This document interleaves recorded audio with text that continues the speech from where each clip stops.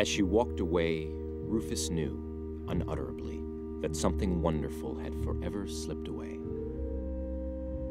She was, as all of us are, a mass of contradictions warm yet cold, tough yet gentle, mysterious yet profoundly simple. For 33 weeks, they had danced their unpredictable dance, now hostile, now delightful, always thrilling. And nowhere was the relationship more volatile than in the sexual arena. In bed, she was both timid and bold, surprisingly aggressive about ensuring her own Rufus, satisfaction. that's not fair.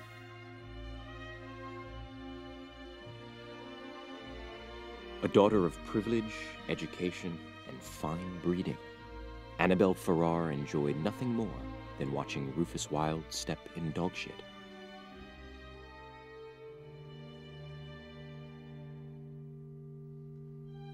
And as she walked out of his life forever, Rufus knew only that he would never claim to understand women. Least of all, the curious specimen who, in the autumn of 1999, had seemed to hold the potential to be the one. November 17th, 1999. Hey, Rufus. Dropped by on my way home from Andrews, but you're still working. Call me when you get home if you want. Love, Annabelle.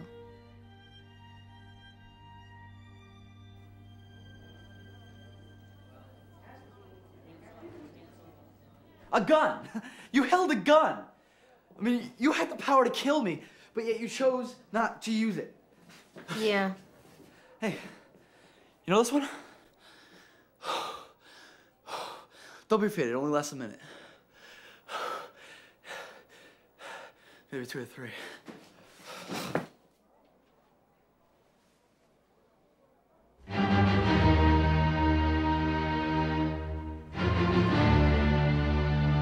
Hello. Are you okay? Yeah, yeah, Will you be mobile? yeah. Um, yeah, I'm fine. Hey, where's Danny? I know this word. You are a schmuck. You're so fucking funny, you little faggot. What? I'm trying to read. Do you mind? What's your problem, you little loser? I'm not the one with the problem, pervert. Oh. Okay, let me tell you something, cuz. When you get a little older, you'll realize the whole world revolves around sex. I mean, it's just on everyone's mind about 99.99% of the day. And what's the other point oh one? Strangling yourself? You're gonna wind up so celibate. You're gonna wind up beeping off all day like old men in porno theaters. You're ruining my night, you know that. Good, you're ruining my millennium. Well, fuck you, little dickhead. You're on your own.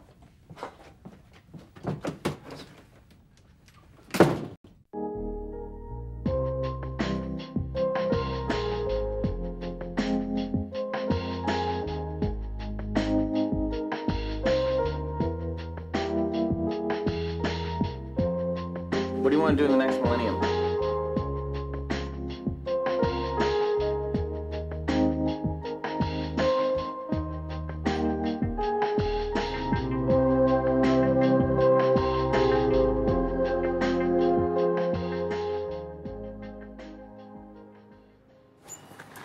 Thank you. Thank you, Andrew. I know this is a very busy night for you. No, let's take a moment for you. I hope I haven't over rehearsed this. God forbid anything be dull. Yeah, well, then tomorrow or, or maybe Monday, I'm not sure whether these people actually work on New Year's. I can't be certain. I've wrestled with this problem for years. Pop, millennium approaches. Right. Anyway, tomorrow or Monday, But not Sunday. uh, an attorney from the firm of Lipsky, Manos, and Strauss is going to come to your house. He's, he's got a sealed letter for you. Dad, are you a spy? Are we all moving to Argentina to live off bugs and water? Andrew, the letter is from your mother. What? She wrote it about two weeks before the end. My God. And she stipulated that it be delivered to you on January 1st, 2000. Dear Andrew, I'm dead. How are you? Wish you were here? It's not that kind of letter. What kind is it? To tell you the truth, she assumed I would tell you what was in the letter. What, did you read it? Actually, I helped her write it. Her strength was almost gone.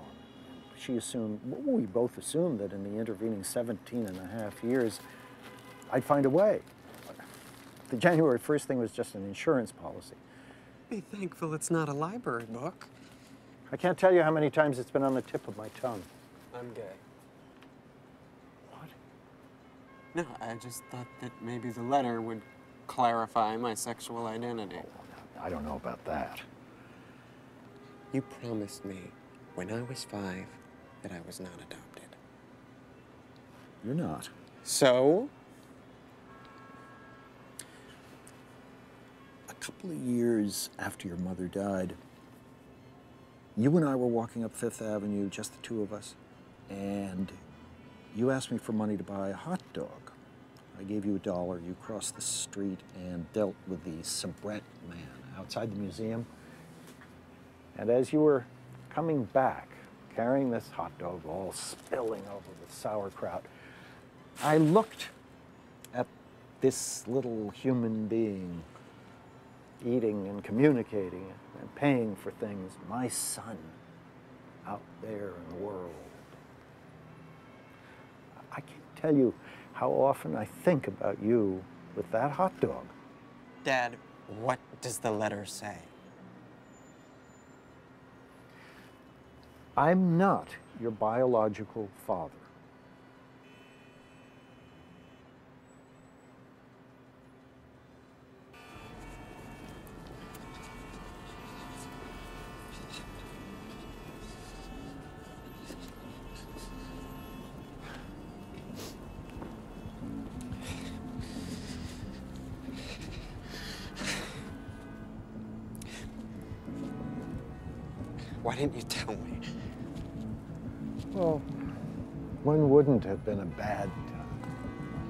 You're always so busy. After mom died, I just couldn't hit you with it. I talked to people. Who? Psychiatrists, a lady at Columbia, Liesel. Liesel? Did you take out an ad? No, Andrew. Everyone agreed. Except for me. It wasn't important for you to know, and there wasn't any harm in you not I mean, I'm glad that you all had a good laugh about it. I decided I'd tell you when you were 16, but we all went to a Yankee game and it was drizzly and horrible. And I thought, oh, well, 18. What happened to 17? It just wasn't a good time. And then before I knew it, you'd graduated from college. Hey, what's going on? I'm pretending to get cigarettes. Oh, Suki. I'd like you to meet Harold Goldman. He was a good friend of my mother's. What? He's not my father. What? Andrew, I'm prepared to answer any of your questions. Prepared to answer questions. Did you bring your attorney? If you'd rather wait for the letter. What letter? Oh, the letter that my mother wrote to me from death's door explaining who my real father is, that this man here has been too busy for the last 17 and a half years to deliver.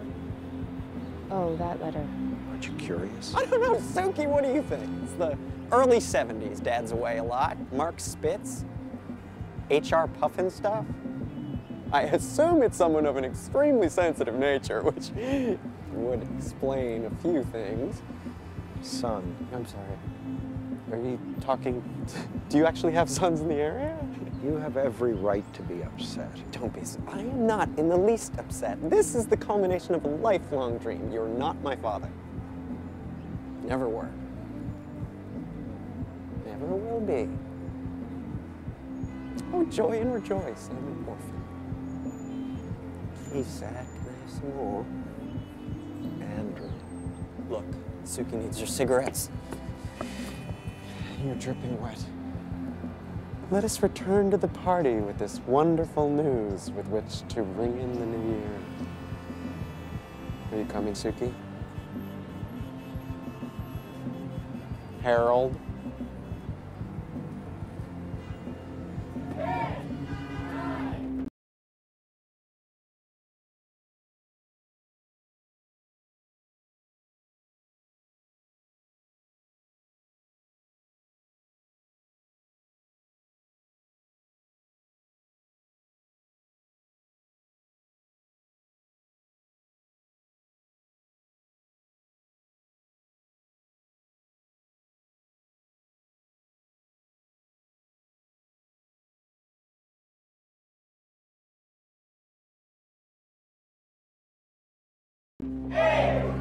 It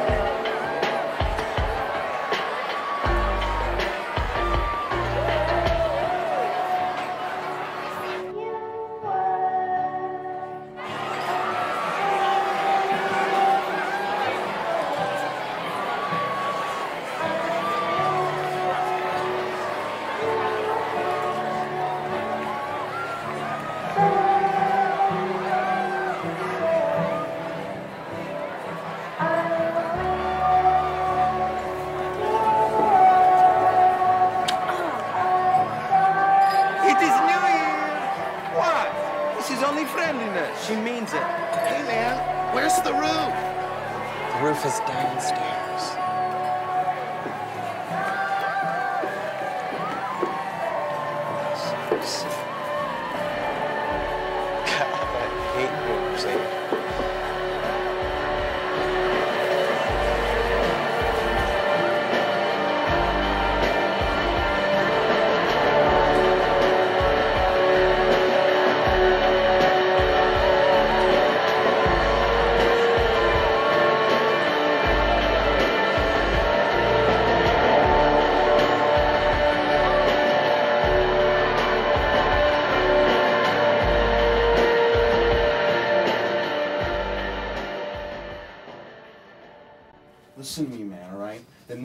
ended with the 98 elections, all right? And the millennium itself, get your hands. The millennium itself is a completely bogus distinction, which you don't have to be chronologically anal about to recognize. It doesn't happen until next year, man. Can't believe you, man. What? F- First of all, the 90s ended with that whole Kentucky Derby thing. You're dumb. Boys, boys, let me tell you a little story about humanity, okay?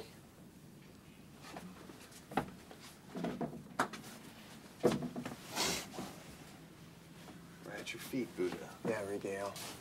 Okay. A man is walking his goat.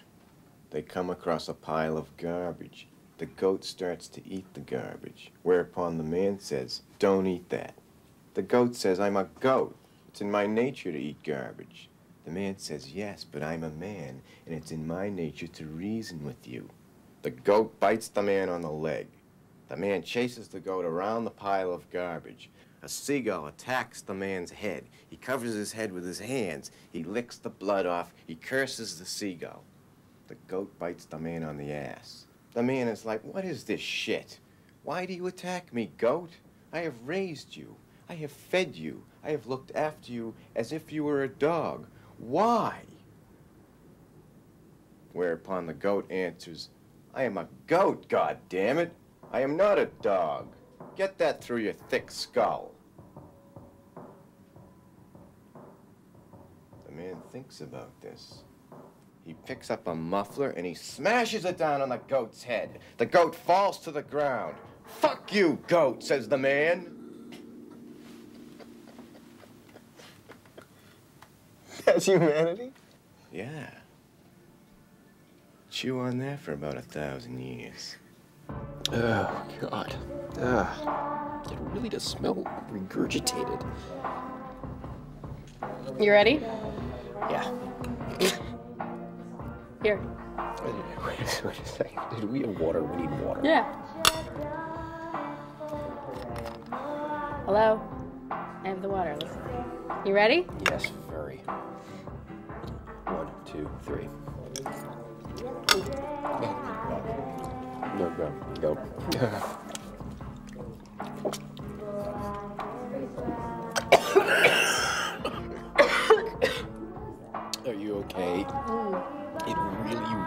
Does taste like dead flesh. Or, um, like the shit of an old yak. More? it's now or never for the new Rufus.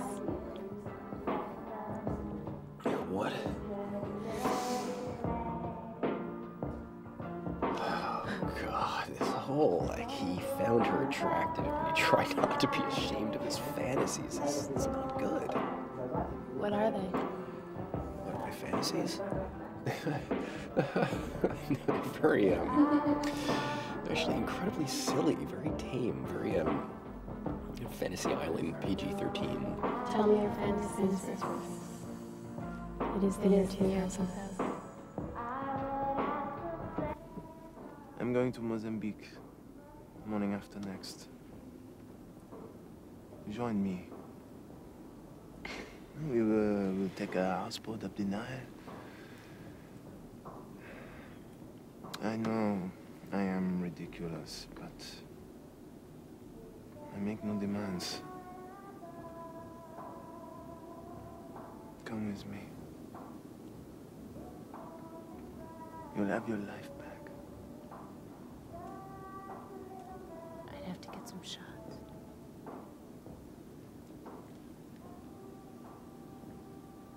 This is not the way it was supposed to be. It's not what was promised. This is not where we're supposed to be. Come on. Where were we supposed to be? First of all, we're supposed to be in hovercraft. We're supposed to be watching holograms and zipping around on monorails, not sitting around eating goddamn chicken bones.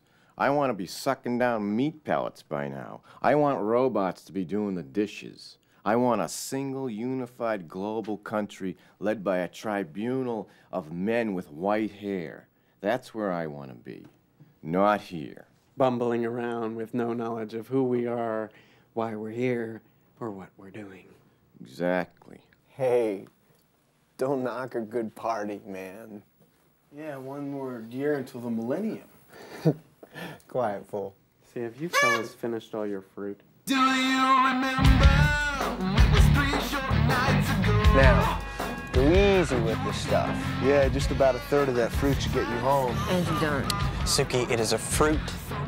It is not a very appealing fruit, but it is, as he says, I'm sure, not unlike papaya or pineapple, and I have on several occasions eaten entire pineapples. Yeah. Good boy.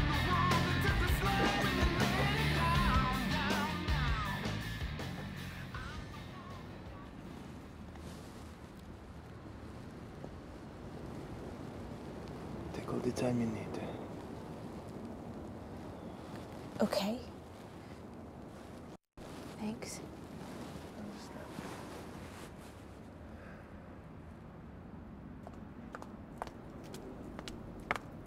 Annabelle, hi.